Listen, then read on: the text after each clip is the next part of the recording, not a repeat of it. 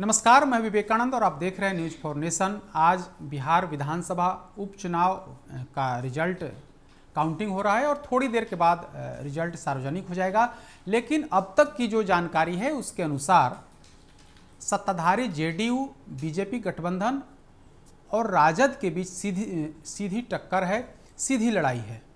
इस लड़ाई में कहीं भी दो, इन दोनों सीटों की अगर हम बात करें तो इन दोनों सीटों में कांग्रेस एवं अन्य बाकी दल जो हैं वो कहीं नहीं हैं। न तो कांग्रेस कहीं लड़ाई में है, न लोजपा, जो लोजपा रामविलास की पार्टी जो है, वो कहीं है। दोनों की स्थिति बेहद ही खराब है। एक जगह पर तो नोटा और कांग्रेस का जो वोट है, वो करीब करीब बराबर है। वही हाल लोजपा का भी है। कुल मिलाकर के कहें तो लोजपा कांग्रेस की स्थिति बेहद खराब है। इस बार इस पर कांग्रेस ने अपने दम पर चुनाव लड़ने की घोषणा की और दोनों सीटों पर अपने प्रत्याशी उतारे। हाल ही में कांग्रेस में शामिल हुए कन्हैया कुमार एंड, एंड उनकी कंपनी जो थी चुनाव प्रचार के लिए भी यहाँ पे आई। पटना में बजाप्ता बड़ा कार्यक्रम करके उन्हें सम्मानित किया गया और फिर वे जनता की अदालत में जनता के चुनाव चुनाव प्रचार में वे गए, लेकिन उसका भी कोई असर, यानी कि कन्हैया कुमार का भी कोई असर होते हुए नहीं दिख रहा है। कुशेश्वर स्थान में, जहाँ से कांग्रेस पार्टी ने पूरी ताकत झोंक दी थी, तमाम बड़े नेता राहुल गांधी और सोनिया गांधी को छोड़ दिया जाए मतलब जो राष्ट्रीय नेताओं को छोड़ दिया जाए तो बाकी के जो दूसरे दर्जे और तीसरे दर्जे के जो नेता थे, वे तमाम नेताओं ने पूरी ताकत झोंक दी कुशेश्वर स्थान में। तारापुर में भी ताकत लगाया गया, लेकिन कहीं भी कांग्रेस अपनी छाप छोड़ते हुए नहीं दिखी। कांग्रेस ने इस बार राजद को सबक सिखाने के लिए दोनों सीटों पर अपने उम्मीदवार उतारे, लेकिन कन्हैया कुमार स्टार प्रचारक बनकर के मैदान में उतरे, लेकिन उनकी कहीं कोई छाप होते हुए नहीं दिखी। सबसे पहले अभी हम वर्तमान स्थिति के बारे में बता देते हैं कि इन दोनों सीटों पर राजद कैंडिडेट या फिर जेडीयू कैंडिडेट या बाकी कैंडिडेट की क्या स्थिति है इन तमाम बातों के बारे में आपको हम पहले जानकारी दे देते हैं। तो सबसे पहले बात कर लेते हैं कुशेश्वर स्थान सीट की। कुशेश्वर स्थान सीट में जेडीयू करीब करीब निर्णा, निर्णायक बढ़त की ओर है। जेडीयू कैंडिडेट अमन भूषण हजारी जो शशि भूषण हजारी के बेटे हैं। शशि भूषण हजारी वहाँ से लगातार चुनाव जीतते रहे थे 2015 2020 लेकिन 2021 में उनका निधन हो गया, जेडीयू के विधायक थे। उनके निधन से खाली हुई सीट पर उनके बेटे अमन भूषण हजारी चुनावी मैदान में हैं। जेडीयू ने अपने कैंडिडेट को जिताने की पूरी ताकत लगाई और अभी जो स्थिति है, निर्णायक बढ़त की ओर, यानी कि निर्णायक जीत की ओर जेडीयू कैंडिडेट बढ़ रहे हैं। पंद्रह राउंड का फिगर जो है, वो अभी तक चुनाव आयोग की तरफ़ से जारी किया गया है। उसमें अमन भूषण हजारी को उनचालीस हज़ार तीन सौ में, यानी कि चालीस हज़ार वोट अमन भूषण हजारी, जो जेडीयू के कैंडिडेट हैं, उन्हें मिला है। जबकि मुख्य प्रतिद्वंदी राजद राजद के जो कैंडिडेट हैं, गणेश भारती, उन्हें बत्तीस हज़ार दो सौ सैंतालीस मत मिले हैं। यानी कि करीब करीब सात हज़ार से अधिक मतों से जेडीयू कैंडिडेट लगातार आगे चल रहे हैं। एक दो शुरुआती का जो एक दो राउंड था, उसको अगर छोड़ दें तो बाकी का जो 12-13 राउंड है, उन तमाम चरणों में जेडीयू के कैंडिडेट लगातार आगे रहे हैं और यह फासला जो है सात हज़ार वोटों का हो गया है, यह अंतर। यानी कि जेडीयू कैंडिडेट की स्थिति काफ़ी बेहतर है। तेईस राउंड होने की संभावना है। कुशेश्वर स्थान में तेईस राउंड काउंटिंग की गुंजाइश है। लेकिन उसमें पंद्रह राउंड के बारे में जानकारी आ गई है। पंद्रह राउंड में जेडीयू कैंडिडेट ने निर्णायक बढ़त ले ली है। स्थिति हालाँकि रिज़ल्ट तो अभी घोषित नहीं हुआ है, लेकिन रिज़ल्ट से पहले ही उन्हें बधाई मिलने का सिलसिला भी शुरू हो गया है।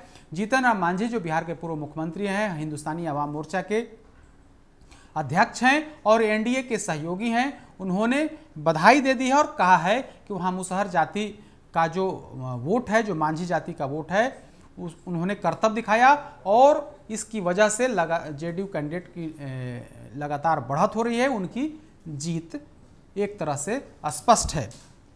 अब अब जरा तारापुर में आइए। तारापुर में थोड़ी गिनती स्लो है।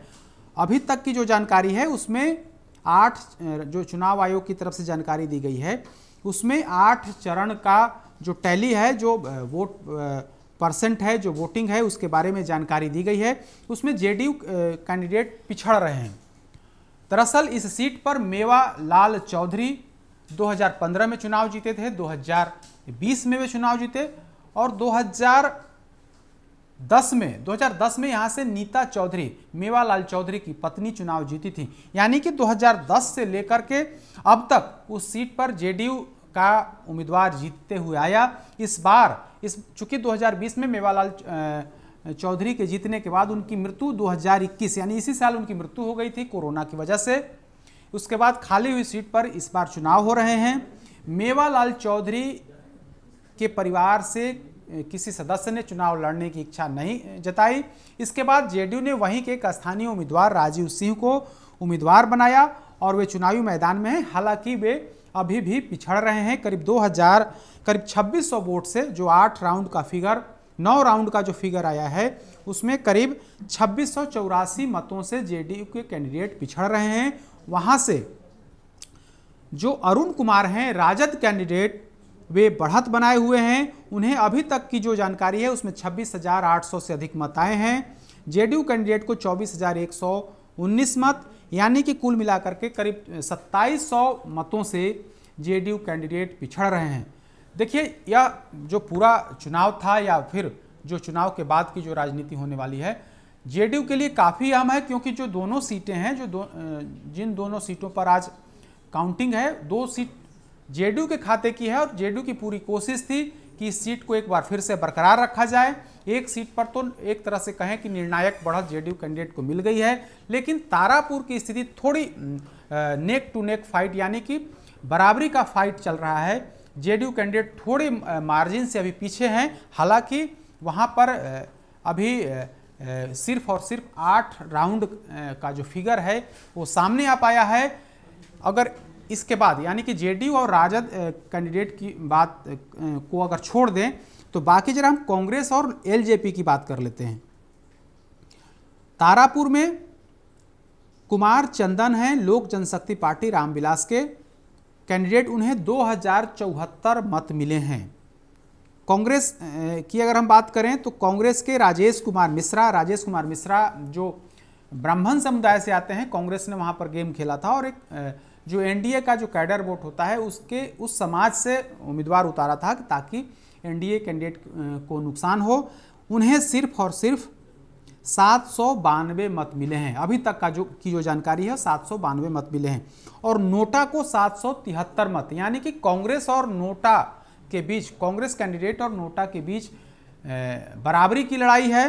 नोटा में भी सात सौ तिहत्तर मत गया है, जबकि कांग्रेस कैंडिडेट को सात बानवे मत मिले हैं, यानी कि कांग्रेस कैंडिडेट की स्थिति काफ़ी खराब है। कुशेश्वर स्थान में, अगर हम कुशेश्वर स्थान की बात करें तो पंद्रहवें राउंड के बाद कांग्रेस कैंडिडेट अतिरेक कुमार थे वहाँ पे, चूँकि कुशेश्वर स्थान में अतिरेक कुमार को ले, लेकर के कांग्रेस नेताओं ने पूरी ताकत झोंकी थी तो उन्हें पैंतीस साठ मत अभी तक मिले हैं, जबकि लोजपा जो लोक जनशक्ति पार्टी है, अनु, अंजू देवी, उन्हें इकतालीस सौ अट्ठासी मत मिले हैं। यानी कि कांग्रेस कैंडिडेट को लोजपा कैंडिडेट से कम मत मिले हैं, जबकि वहाँ नोटा को उन्नीस सौ इक्यासी मत मिले हैं। तो कुल मिलाकर के कहें तो स्थिति कांग्रेस के लिए काफ़ी खराब रहा। हालाँकि लोजपा की स्थिति भी काफ़ी खराब रही। तारापुर सीट लोजपा के जो सुप्रीमो हैं, लोजपा रामविलास गुट के जो सुप्रीमो हैं, चिराग पासवान, उनके संसदीय क्षेत्र में आता है। उस संसदीय क्षेत्र में लोजपा कैंडिडेट की स्थिति खराब है तो समझ सकते हैं कि चिराग पासवान ने जिस तरीके से एकला चलो की तर्ज पर अकेले चुनाव लड़ने का निर्णय लिया तो उनके कैंडिडेट को दो हज़ार, ढाई हज़ार के आसपास मत इसमें आए हैं। हालाँकि कुशेश्वर स्थान में पाँच हज़ार के करीब वोट मिलते हुए दिखा है लोजपा रामविलास को। तो यही स्थिति है, कुल मिलाकर के अभी की जो हम बात करें तो एक सीट पर निर्णायक बढ़त की ओर जेडीयू बढ़ गया है। दूसरी सीट पर जो मार्जिन है, मार्जिन अभी 2000 के आसपास का है, उसमें राजद कैंडिडेट की बढ़त है, जेडीयू कैंडिडेट दूसरे नंबर पर है। लेकिन इन दोनों के बीच जो सबसे अहम बात है कि कांग्रेस कहीं नहीं दिख रही है। कांग्रेस ने पूरी ताकत झोंक दी थी, लेकिन इस पूरी लड़ाई में, लड़ाई आमने सामने की है, एक तरफ़ एनडीए है, दूसरी तरफ़ राजद और उसके जो छोटे सहयोगी दल, यानी कम्युनिस्ट पार्टी, भाकपा, माले, जो चार दलों का जो गठबंधन था, उसमें कांग्रेस को माइनस कर दिया जाए तो कांग्रेस को छोड़ करके राजद के साथ भाकपा, माले, सीपीआई और सीपीएम, यानी कि चार दलों का गठबंधन, कांग्रेस अकेले चुनाव लड़ रही थी, लोजपा, रामविलास अकेले चुनाव लड़ रही थी इन दोनों की स्थिति खराब है। सीधी लड़ाई एनडीए वर्सेस राजद है और दोनों सीटों पर लड़ाई तगड़ी है। हालाँकि एक सीट पर तो स्पष्ट तौर पर दिख रहा है कि वहाँ पर जेडीयू कैंडिडेट की जीत होते हुए दिख रही है। दूसरे कैंडिडेट पर मार्जिन काफ़ी कम है, यानी कि लड़ाई बराबरी का होते हुए दिख रहा है।